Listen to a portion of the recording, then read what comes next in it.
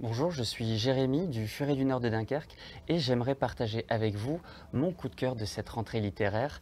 Donc c'est le livre euh, de Véronique Olmy, Bakita. Bakita, c'est euh, le nom de cette héroïne, euh, cette jeune fille qui a été enlevée en Afrique tellement jeune euh, qu'elle ne se souvient plus de son nom euh, ni de son âge. Bakita, c'est le nom euh, que son premier maître lui a attribué.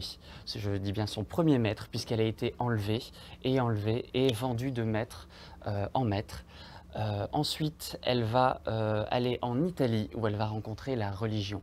Ce qui est important, c'est la force euh, de ce personnage, de cette jeune fille qu'on voit grandir, qu'on voit évoluer dans cette société particulière, cette société où l'esclavage prime sur, sur l'être humain. C'est vraiment un livre à mettre entre toutes les mains.